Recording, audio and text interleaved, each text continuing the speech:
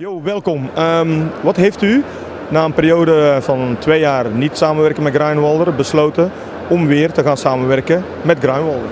Op zijn Vlaams gezegd, ik ben een entrepreneur. Ik, ik zoek naar het beste.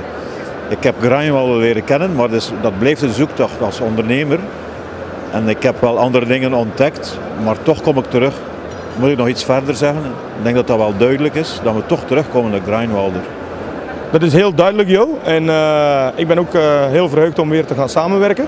En uh, wat verwacht je van de samenwerking van Gruinwalder en Partner?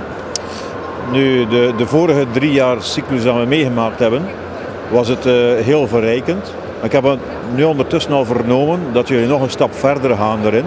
En wij zoeken in feite een rechterhand voor onze compagnie verder te trekken. En ik denk dat we nu weer de juiste kameraad gevonden hebben om ons daarbij te helpen. Dank u wel Jo voor dit interview en uh, ik verheug me ook op de samenwerking. Oké.